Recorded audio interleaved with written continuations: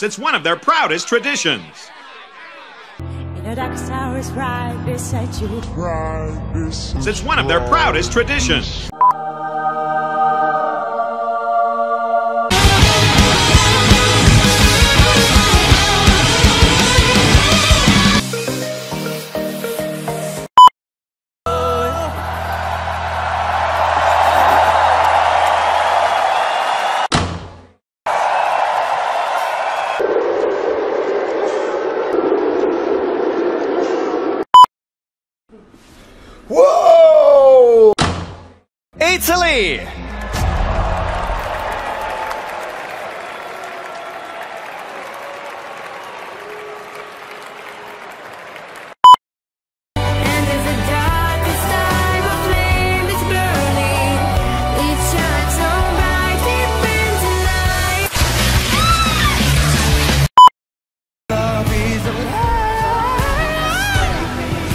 Mistake, just do it for your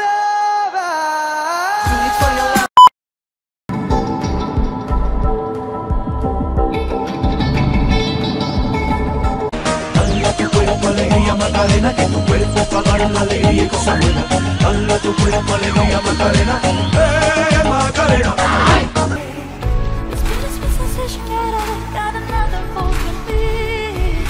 I want to say that we live in a world of disposable music, fast food music without any content, and I think this could be a victory for music with people that make music that actually means something.